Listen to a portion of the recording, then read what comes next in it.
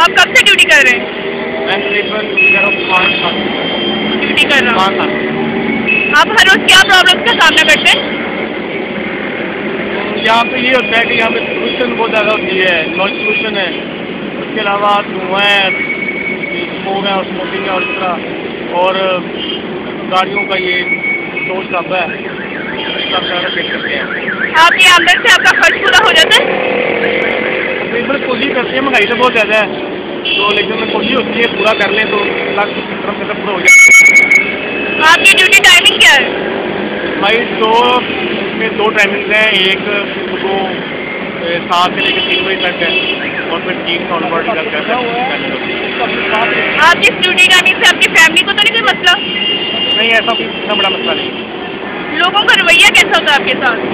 लोग हर तरह के लोग होते हैं कोई अच्छे लोग होते हैं। बात करते हैं, उनको गलती बताए वो गलती मार भी हैं। और नाम भी घुमा लेते हैं बड़ी लोग होते हैं बड़े बेरुखे होते हैं, बहुत उनको जो भी कहते हैं, वो अपनी बात में डटे रहते हैं। और बहुत बदतमीजी भी करते हैं। बहुत ज़्यादा उनकी वो जो होता है अपना एरोगेंट होता है।